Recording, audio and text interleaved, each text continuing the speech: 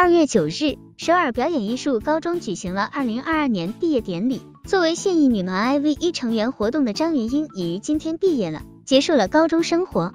不过因行程原因，她没有出席毕业典礼。据悉，她在前一天返回了学校，并获得了毕业证书。同时，张元英的首尔表演艺术高中毕业照在韩国网络社区上公开，吸引了网友们的目光。有网友留言表示：“校园女神那种角色，出道这么多年，居然才高中毕业，做梦也想不到毕业照就像是画报一样。”当然，也有网友有不一样的看法，太成熟不像是高中生，为什么毕业照也要眨眼啊？还有他自己知不知道眨眼会让他大小眼更明显？毕业照都有点油腻，感觉每个动作都精心设计过。